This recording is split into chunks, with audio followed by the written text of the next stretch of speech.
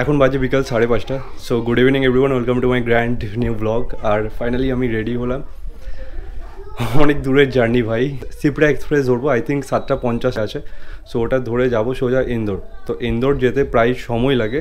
I think দুদিন লাগে। মানে আজকে রাত সাড়ে সাতটার সময় যাব, কালকে রাত সাড়ে সাতটা, তারপরে নামবো রাত একটার সময়। ভাবতে পারছ, অনেক লং জার্নি লাইফে ফার্স্ট টাইম এতটা লং জার্নি করেছি। মানে আমি হিমাচল তো গেছিলাম বাট এতটা সময় লাগেনি। এটাতে ভাই অনেক বেশি সময় লাগবে, কারণ এটা হচ্ছে এমপি মানে আমি যাচ্ছি দুর্গাপুর টু এমপি মধ্যপ্রদেশে। ওই হসপিটালে কিন্তু মানে ক্যাশ ছাড়া টাকা নেয় না। মানে কি বলতো, ওখানে অনলাইন ট্রানজ্যাকশন করে না, কারণ ওরা ভাই ট্যাক্স ফাঁকি দেয়। তো টোটাল টাকাটা আমাকে ক্যাশ নিয়ে যেতে হচ্ছে প্রায় এক দেড় লাখ টাকা, ঠিক আছে? খুব চাপের একটা বিষয়। সো ব্যাগ তো অনেক হয়ে গেছে। এটা একটা ব্যাগ হয়েছে। তো এটাতে শুধু আমার ড্রোন আছে ক্যামেরার জিনিস আছে আর ক্যাশ আছে। আর এটাতে আছে ভাই শুধু খাবার, ঠিক আছে? মানে এত দূর লং জার্নি করছি। সো খাবার তো নিতেই হবে। কারণ ভাই ট্রেনে নর্মাল ডাল ভাতের দাম হচ্ছে একশো কুড়ি টাকা, ঠিক আছে?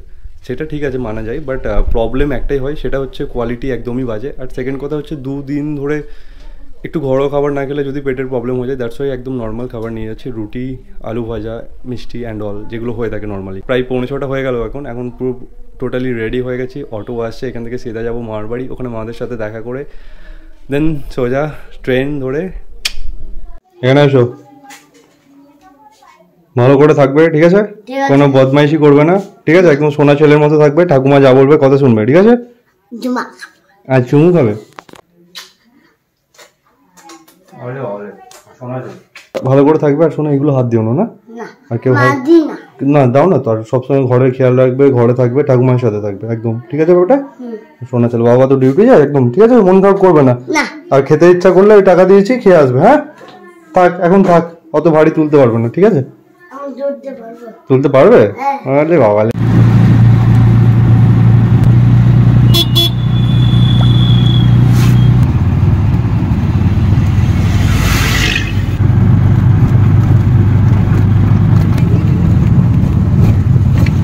ফাইনালি দুর্গাপুর রেলওয়ে স্টেশনে এলাম।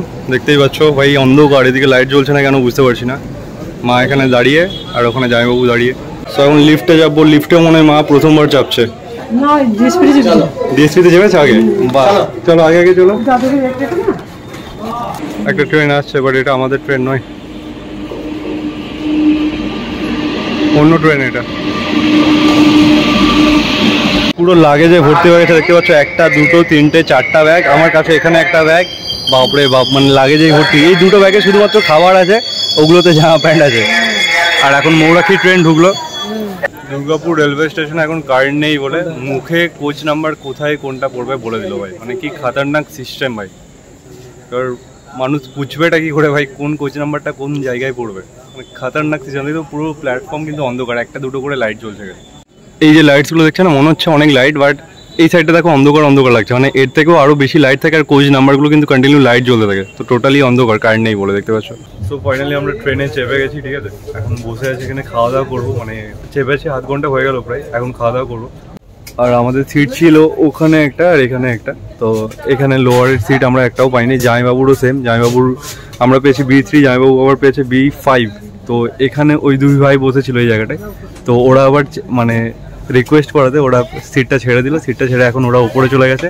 আমরা এখানে মানে মাকে অ্যাটলিস্ট নিচে দিতে পারব, কারণ মা তো উপরে উঠতে অনেকটা চাপ হয়ে যাবে। ও আই থিঙ্ক আসানসোল এসে গেছে প্রায়। আচ্ছা আসানসোল ঢুকে গেছে। এখন খাওয়া দাওয়া চলছে, দেখতে পাচ্ছ? রুটি আছে, এদিকে ল্যাংচা আছে, ঘুগনি আছে। ভাই, প্রচুর খাবার দিয়ে দিচ্ছে দেখা যাক কোনটা খায়। ওদিকে আরেকটা সবজি আছে। এখনও অব্দি বেস্ট যেটা লেগেছে সেটা হচ্ছে ভাই সিপ্রা এক্সপ্রেসের ওয়াশরুমের যে মিররটা রয়েছে বাপরে বাপ প্রচুর বড় মিরর দিয়েছে এখানে এটা রয়েছে বেশি না এটা রয়েছে কম ভাই বাথরুমটা সিরিয়াসলি প্রচন্ড ক্লিন মানে দেখতে পাচ্ছ এক ফোঁটা জল পড়েনি অ্যাকচুয়ালি এখানকার লোকগুলো আই থিঙ্ক ভালো যারা চেপে আছে ये जो अथी में गिर रहा है ऊपर वाला छतरी वाला गिरे होते आप गेट व खिड़की पर अपने मोबाइल व सामान के प्रति सतर्क रहें चेक करके अपना घटना पर्स, होने मोबाइल की बैग चेक अधिक कर लीजिए आप लोग। संभावना रहती है किसी भी संदिग्ध व्यक्ति वस्तु अथवा গুড মর্নিং এভরিওয়ান এখন বাজে ভোর সাড়ে পাঁচটা। অনেক সকাল সকাল ঘুম ভেঙে গেছে। ঠিক আছে, এই জাস্ট উঠলাম। মা ঘুমাচ্ছে। মাকে উঠে জিজ্ঞাসা করলাম, কারণ মা তো একা উঠে আসতে পারবে না। তারপরে মাকে উঠে জিজ্ঞাসা করলাম কি বাথরুম ফাথরুম যাবে কি মা বলল, যাবে না। আমি জাস্ট এখন এলাম, একটু ফ্রেশ হয়ে যাই দেন গিয়ে আবার ঘুমিয়ে যাব। কোনো কাজ নেই ভাই, কি করব? এখনও অনেক ঘণ্টা বাকি। তো এখন মা, আমি ব্রাশ করছি, দেখতে পাচ্ছ? মা ঘুম থেকে উঠে গেছে ব্রাশ ফ্রাশ করে তারপরে ব্রেকফাস্ট করব।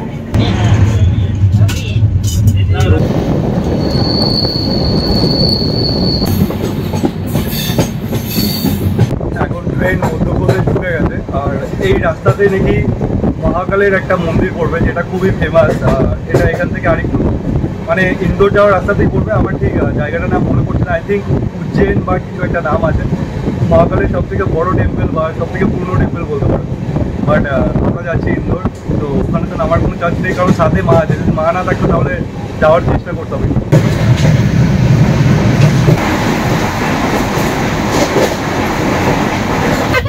विकास चौधरी महेश चौधरी मुकेश चौधरी पच्चीस दो दीजिए ना মা খাবে দই খাবে এখন দই খাচ্ছি ভাই মিষ্টি দই মিষ্টি দই তো আচ্ছা।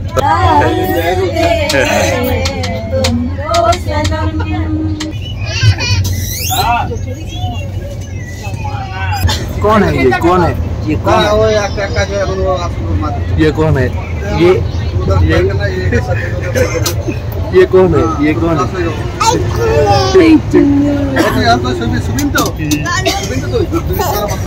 এখন ট্রেন সাউগড় ক্রস করছে।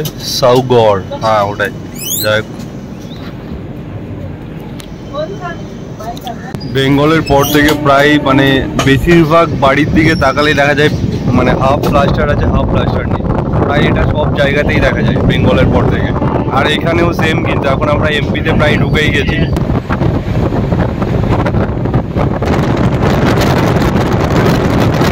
আর এখনও অব্দি ফোন থেকেই শুট করছি, তার রিজন একটা ভাই ক্যামেরা বের করলে না, একটা যদি সবার চোখে পড়ে যায় যে এর কাছে ক্যামেরা আছে ট্রেনে যাচ্ছি, ঠিক আছে? প্রায় এটা থার্টি টু আওয়ার্সের একটা জার্নি তো অনেক বেশি চাপ হয়ে যাবে ফোন তো পকেটে ঢুকে যায়।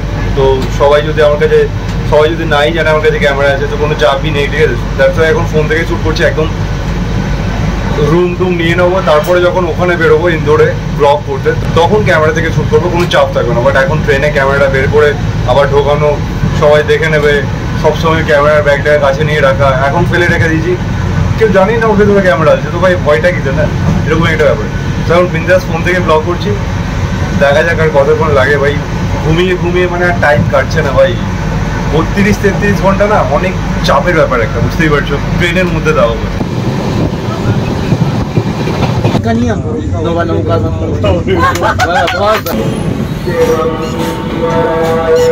ঘরটা গরমই দিয়েছিল। তখন খাওয়া দাওয়া করছি মা খাচ্ছে এখানে। যাই হোক ডিম ছাড়াচ্ছে আর এটা আইআরসিটিসির খাবার। এটা এক একটা প্লেট একশো তিরিশ টাকা করে। মানে এটা একটা থালি একশো তিরিশ ওটা একটা একশো তিরিশ। হ্যাঁ। এখানে টোটাল চারটা রুটি আছে। এখানে একটা ম্যাঙ্গো পিকল দিয়েছে এখানে একটা আলুর সবজি আলু মোটরের এখানে ডাল দিয়েছে আর এখানে পনির। পনিরের সাইজগুলো দেখো খালি। খাতারনাক সাইজ এটা একশো তিরিশ টাকা প্লেটের পনিরের সাইজ আর আছে মাত্র চার থেকে পাঁচটা, এরকম সাইজের খাতারনাক সব থেকে বাজে খাবার হচ্ছে আইআরসিটিসির খাবার। হ্যাঁ।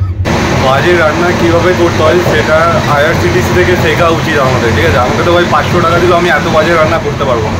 মানে এত বাজে রান্না না ভাই, ওকে নোবেল পুরস্কার দেওয়া উচিত মানে এত বাজে রান্না করার জন্য। আর রান্না ভাই। একশো তিরিশ টাকা করে থালি আর দিকে রান্না এত বাজে। তো যাই হোক ফাইনালি আমাদের খাওয়া দাওয়া কমপ্লিট হয়ে গেছে। মাকে বাথরুম টাথরুম করালাম, এখন গিয়ে শুয়ে পড়ব। আমাদেরকে আই থিঙ্ক দেড়টা থেকে দুটোর মধ্যে নামতে হবে। আর ট্রেন লেট হলে আরও লেট হতে পারে। মা পাশে দাঁড়িয়ে আছে, দেখতে পাচ্ছ। এখন ট্রেন দাঁড়িয়ে আছে উজ্জয়নে মানে মহাকালের টেম্পল আছে যেখানে। সো এবারে তো আমি যেতে পারলাম না, কারণ মাকে নিয়ে যাচ্ছি যেহেতু। বাট নেক্সট টাইম একদিন আসবোই, আর এই প্ল্যাটফর্মে নেমেই এখান থেকেই যাব মহাকালের টেম্পলের দর্শন করতে, মহাকালের দর্শন করতে। সেটাই হচ্ছে উজ্জয়নের যে রেলওয়ে স্টেশন সেটা, আর ট্রেন এখন দাঁড়িয়ে আছে এখানে।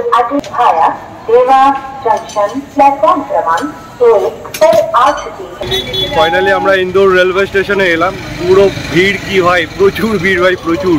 আসলে মাকে হাত ধরে ধরে নিয়ে এলাম, আর সাথে আমার অনেকগুলো ব্যাগ ছিল। দেখা রয়েছে ইন্দোর জাংশন দেখতে পাচ্ছ? ওই সাইড দিয়ে আমরা বেরিয়ে বেরিয়ে এলাম। আর ভাই, এখানে প্রচুর ভিড় হচ্ছে এখন অটো ধরছি এখান থেকে। অটো করে সিধা হসপিটাল বা হোটেল যাচ্ছি, দেখা যাক কোথায় যায়। এখানে আবার অটো গেট সিস্টেম দেখতে পাচ্ছ। গেটটা লাগিয়ে দিয়েছে।